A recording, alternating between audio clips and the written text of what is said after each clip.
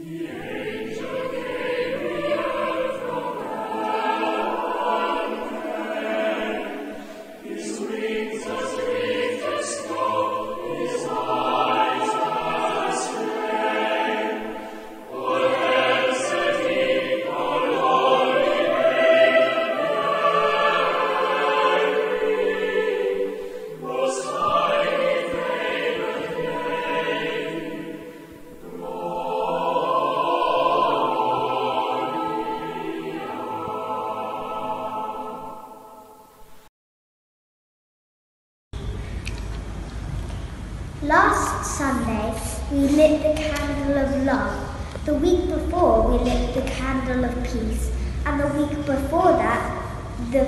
the candle of hope. We light these again as we remember Jesus, the source of our love, peace, and hope.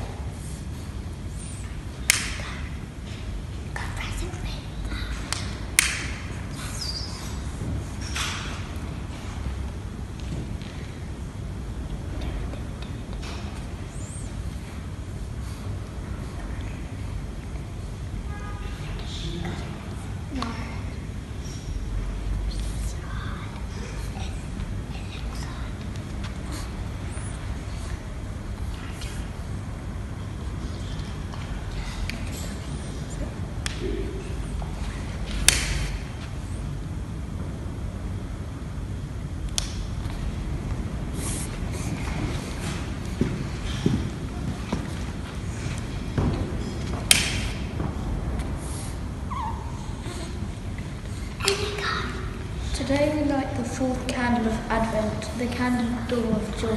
When Mary visited her cousin Elizabeth, knowing that she would give birth to the Son of the Most High God, she was filled with joy. She sang a song that began with the words, My soul magnifies the Lord, my spirit rejoices in God my Saviour. Just as the birth of Jesus gave great joy to his mother, so his presence in the world gave joy to those who believed in him. From hope, peace, love grows joy. We light the candle of joy to remind us that when Jesus is born in us, when we have joy, and that through him there we will be everlasting joy on earth.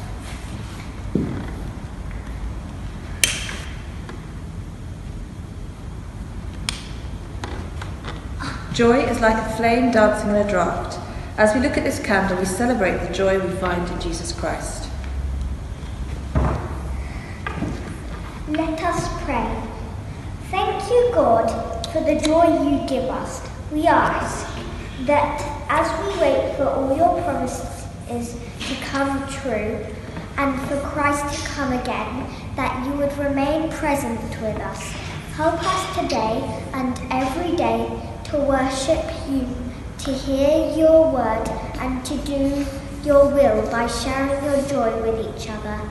We ask it in the name of the one who was born in Bethlehem. Amen. Amen.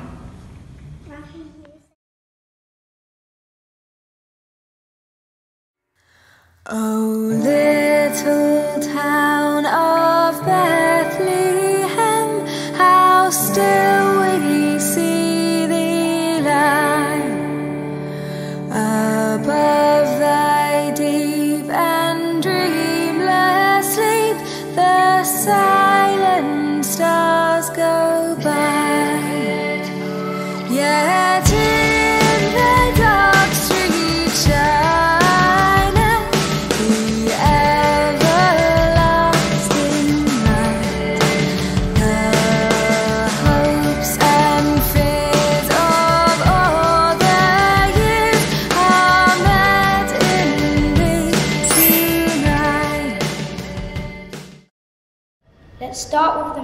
in Luke chapter 2, which tells us what Caesar decided to do. He gathered together the soldiers of Rome and made a decree to send people home. Now, one man called Joseph, this man was a Jew. He needed to travel to Bethlehem. He went his, who, with his wife, who was gentle and mild, but heavily laden as she was with child. Though terrible timing, they had to to travel to Bethlehem both together. Rewind a bit as they're walking to town. I'll tell of the day when an angel came down and mentioned to Mary, an unmarried lady, that she was expecting God's very own baby. Of course, she was worried, as you could expect. Let's face it, her marriage plans could have been wrecked. But thankfully, Joseph was spoken to too, so instead of creating a hullabaloo, he stood by young Mary, knowing that she'd been chosen by God. She was special indeed. Mary and Joseph had reached his homeland, and Mary was worried, expecting that soon the baby would come and they'd be marooned. So quickly her husband attempted to find a place they could rest so she'd have peace of mind. So Joseph knocked on the first door he found. It opened ajar and a head popped around. The innkeeper listened while Joseph said, Do you have a room and a lovely warm bed? Sorry, but no, you'll have to go. So Joseph and Mary walked down the street, looking so tired they were dragging their feet. They stopped at the next inn and knocked on the door, and Joseph repeated what he'd asked before. Do you have a room and a lovely warm bed? We're absolutely full. You'll have to go. Bye bye. The innkeeper stood there and calmly said, So off went poor Mary and Joseph again and knocked on another door down the lane. The innkeeper heard them and came to the door, and Joseph repeated what he'd asked before. Do you have a room and a lovely warm bed? Please, sir, please, sir, you must have something. The innkeeper thought, then pointed and said, I suppose you could sleep in the cattle shed. So Mary and Joseph walked over that way and finally settled to rest in the hay. And just in time too, for the very next morn, an amazing thing happened. Yes, Jesus was born. So, holding him closely and safe in her hands, she wrapped him up warmly in swaddling bands, then laid him to sleep in a manger bed where usually all of the animals fed. Now up in the hills one fabulous night, some shepherds looked up and saw a bright light. And one of them said, as he looked to the skies, The light is blinding me, look away. the shepherds were frightened. What could it be? No one could tell. It was too bright to see.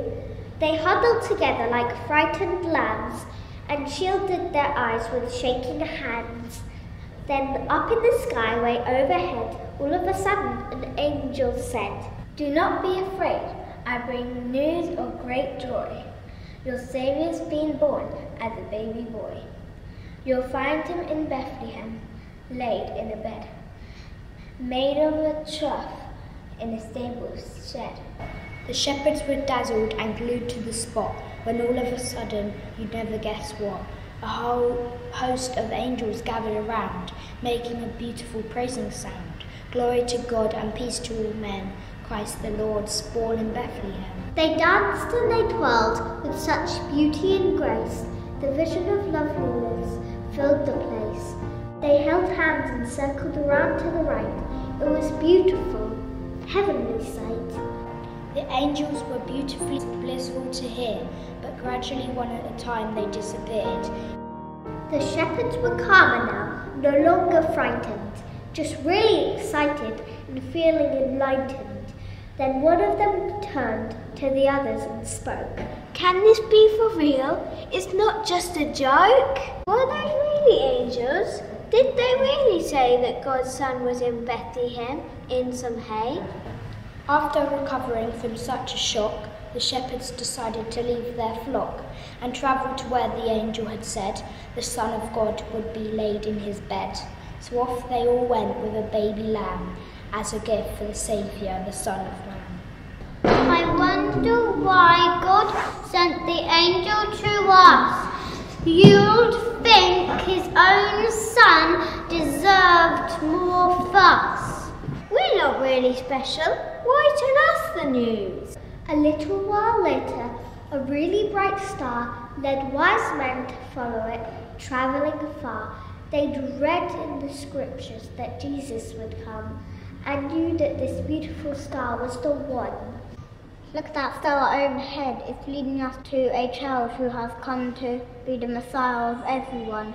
The kings who had learned in their dream that horrible Herod was not what he seemed, so shaking their heads, they didn't look back, but looked at the star to get them on track. It led them to Bethlehem.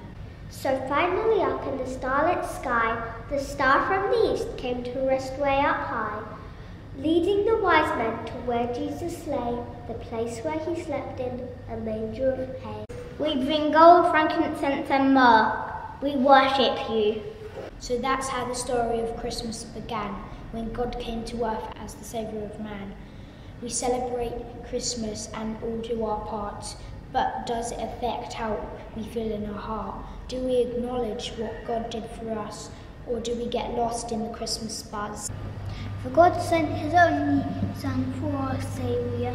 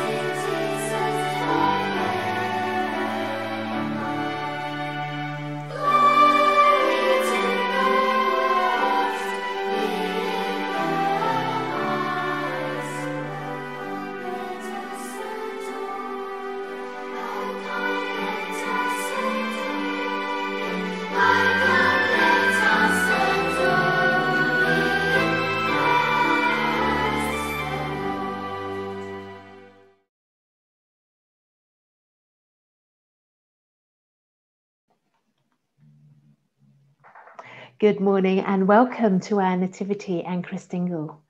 I'm really glad you are able to join with us this morning. It's tough now that we're in tier three, but let's take this as an opportunity to show God's love through our actions in keeping everyone as safe as we possibly can. I'd like to thank Junior Church for that amazing nativity. It just goes to show that where there is a will, there is a safe way. Huge respect to the Junior Church team for putting all of that together. And it's also so lovely to be able to share with the lighting of the Advent candle. And I would love to remember and say thank you to those who are working tirelessly behind the scenes to bring all of this online so that we can all share in the joy of Christmas together. So, as we come together this morning from wherever you're watching, I'd like you to ponder this question What does Jesus want to say to you this Christmas? It's been said that if you take Christ out of Christian, all you're left with is Ian. Now, I have a very good friend called Ian who is lovely and kind and generous. However, even though he certainly makes life better for those around him, I don't think he will actually be able to save the entire world. What if we apply the same thing to Christmas? As Christians, what would it be like if we took Christ out of Christmas?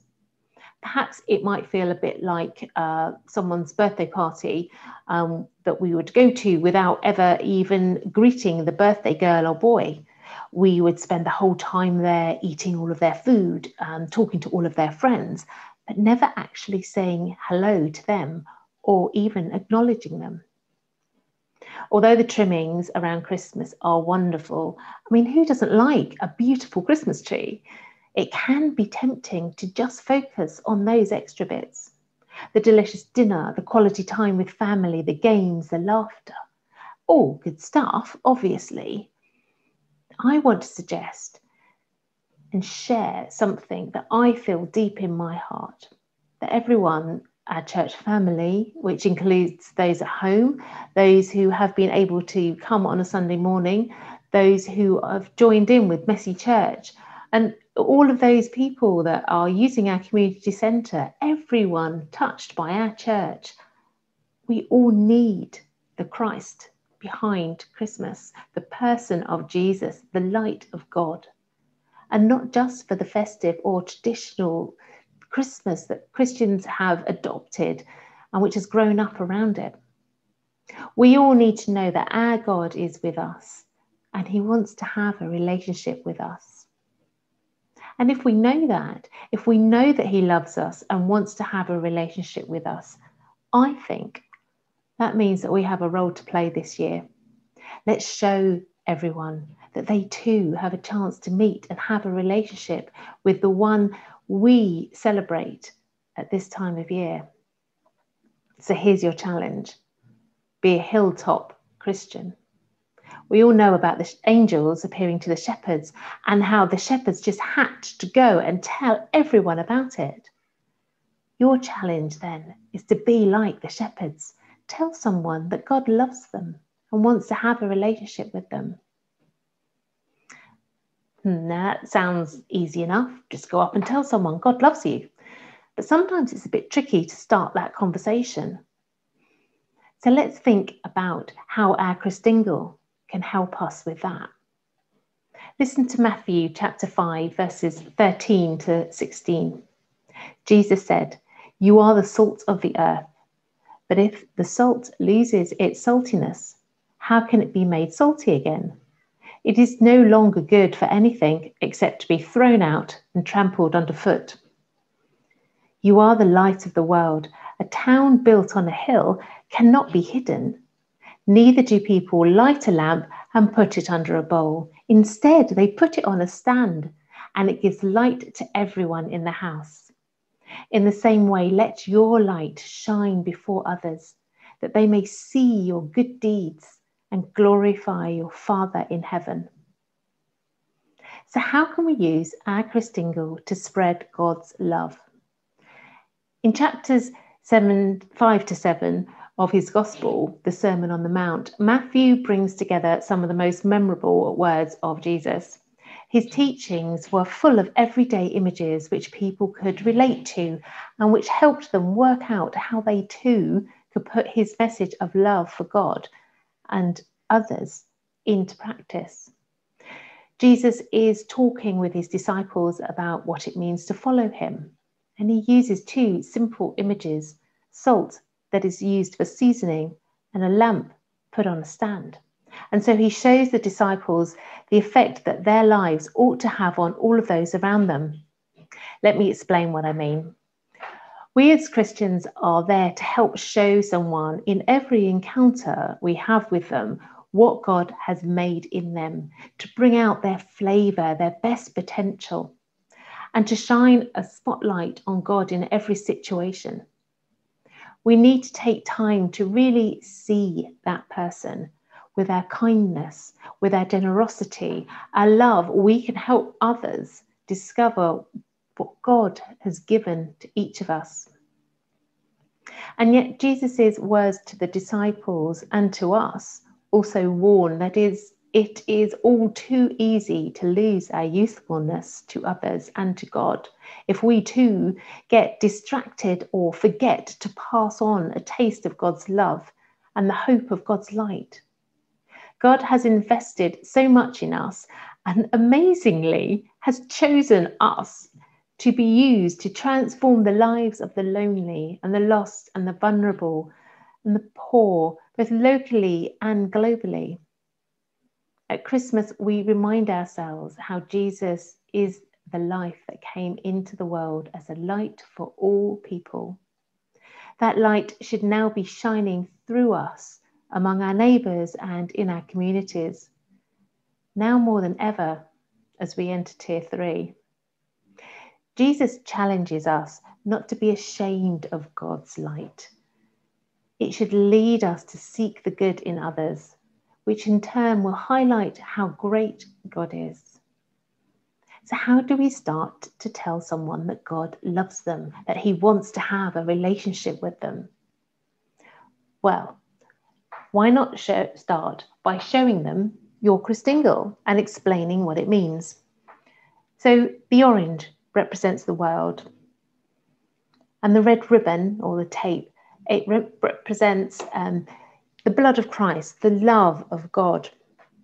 And the sweets and the four sticks, they represent the seasons, God's amazing creation. And the candle in the middle represents Jesus' is light in the world, bringing hope to people living in darkness. Now, here's where your challenge comes in how we can show others God's light, his love for them. You see, a candle can't light itself, it has to receive light. And in the same way, each one of us needs to receive the light of Jesus for ourselves.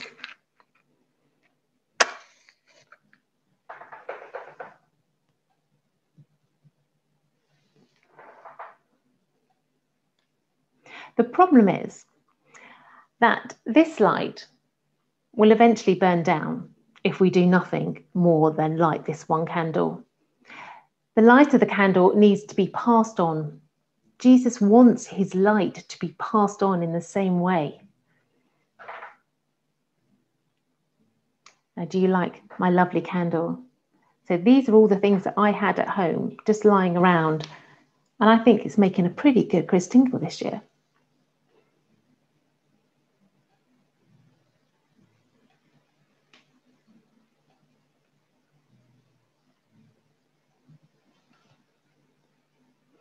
Can you notice that when I shared my light, my candle light, my light, it didn't lose any of its brightness. Instead, the brightness has grown between the two candles that are now lit. When we pass on God's light, we don't lose it. And that is what is so special about the light of Jesus.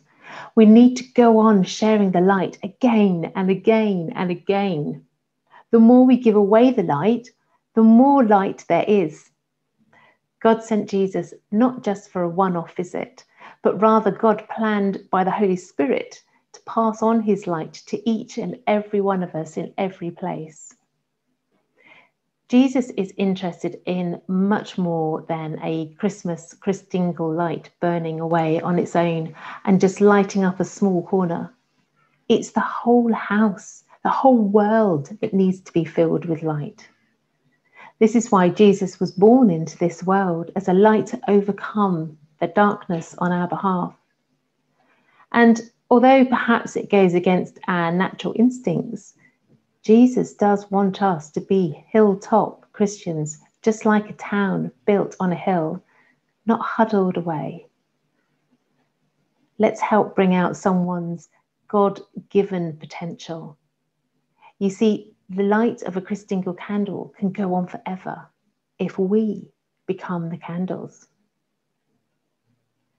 So think about where you will keep your Christingle candle. So it can be a daily reminder of Jesus' challenge to pass on the light of his life. Maybe it could be lit during breakfast or the evening meal. Jesus is the light of the world. And it's a light that He wants to give away to us so that we can be lights for other people. So, what does Jesus want to say to you this Christmas? Let's pray. Thank you, Jesus, that you are the light of the world and that you have passed on that light to us through your cross and resurrection. Thank you, Jesus, that your light is stronger than darkness and you have passed on that power of that light to bring us your Holy Spirit. Thank you, Jesus, that your light is shining through the work of so many wonderful organizations, bringing hope and happiness to adults and children and young people in these dark times. Thank you, Jesus, that as we pass on your light in the care we give to others, your light never dies but continues to give light to the whole world. In this Advent season, may your light shine brighter and brighter as we celebrate your light in us and through us for your glory. We are the light of Christ for the world. Let us be his candles. Amen. Light of the world, you down into darkness. Open my eyes, let me see beauty that made this heart adore you. Hope of a life spent with you. Here I am to worship. Here I am to bow down. Here I am to say that altogether lovely, altogether worthy, altogether wonderful to me. King of all days, also highly exalted, glorious in heaven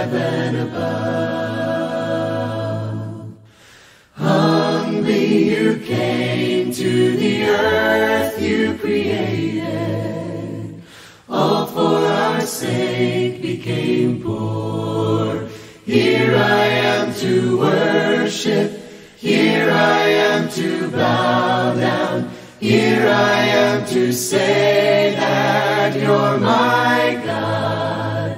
You're altogether lovely, altogether worthy, altogether wonderful to